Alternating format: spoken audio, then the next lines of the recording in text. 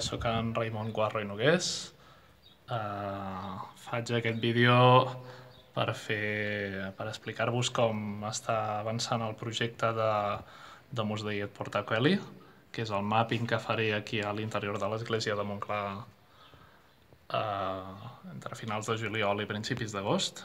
i que he posat aquí a Verkami per tal de recollir fons per fer-ho per fer aquest projecte possible. El que heu vist eh, ara és el que he fet per tal de tapar la finestra, que era la principal font d'entrada de llum a dins de l'església, i bé, necessitem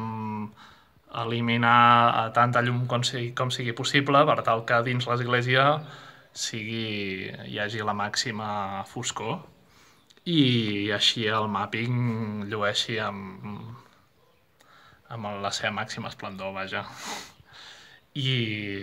bé, la cosa no té més. De moment ja he aconseguit eh, tenir la fosca que volia dins l'església i ara el proper pas eh, serà continuar fent proves de projecció i seguir avançant amb la generació de continguts i d'interactivitat.